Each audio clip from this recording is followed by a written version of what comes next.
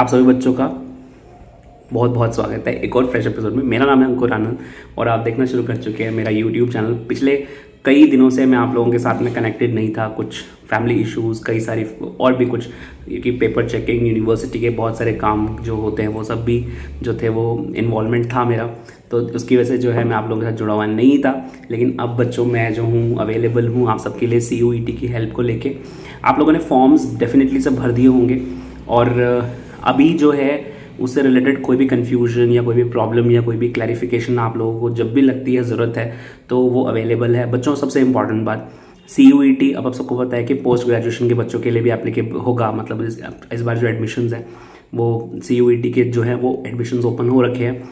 You जी के बच्चे जो हैं फॉर्म भर चुके हैं उनके सारा जो है प्रोसेस कंप्लीट हो चुका है। अब तो सिर्फ़ एग्ज़ाम होना ही जो है बाकी रह गया है। तो एग्ज़ाम को लेके आपके मन में कोई भी क्वेरी है या कोई भी क्वेश्चन है, आप ये जानना चाहते हैं कि सर हम एडमिशन लेना चाहते हैं और हम ये चाहते हैं कि डीयू में हमारा एडमिशन हो ही जाए तो हमारे लिए क्या टिप्स हैं, क्या ट्रिक्स हैं? आगे आने वाले वीडियोस में आप बने रहिएगा मेरे साथ में आप लोगों को गाइड करता रहूँगा। और डेफिनेटली से ये सब बातें जो मैं आपको मैं आपको बताने वाला हूँ, ये आपको दिल्ली यूनिवर्सिटी में सीट रिज़र्व करने में बहुत हेल्प करने वाला है।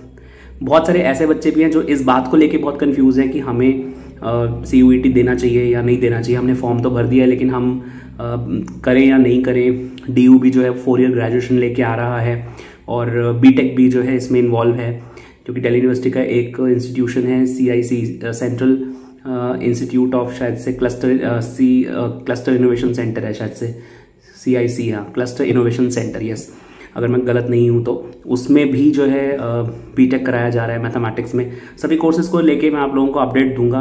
बायोमेडिकल साइंसेस को लेके, या फिर जो बच्चे बायोलॉजी वाले हैं, या फिर जो आर्ट्स वाले हैं कॉमर्स वाले हैं, सभी के बारे में इन्फॉर्मेशन आप लोगों को अब इस चैनल के ऊपर मिलती रहेगी, क्योंकि एग्ज़ाम से पहले एडमिशन से पहले मैं हमेशा से ही जो है इस सीरीज़ बनाता हूँ, जिसमें आप लोगों को गाइडेंस मिलती है। तो डेफिनेटली से अब, क्योंकि वो मंथ आ चुका है, जब ये गाइडेंस आप लोगों को दोबारा से आपको मिलती रहेगी, ठीक है? तो आपको किस कोर्स में जाना चाहिए, आपकी काउंसलिंग आपके एडमिशन से लेके पूरी सारी जो अपडेट है, वो आपको मैं देता रहूँगा।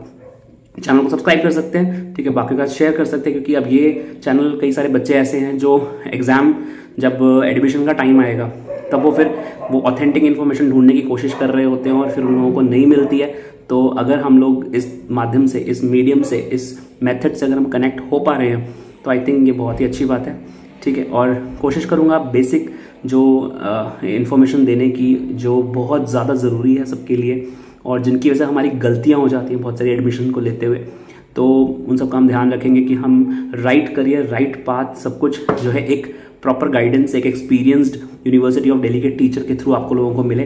तो वो मेरी कोशिश रहेगी आप लोगों को इस पर देने की, ठीक है? तो बने रहिएगा मेरे साथ में आने वाले दिनों में भी और, बाकी का शेयर कर सकते हैं।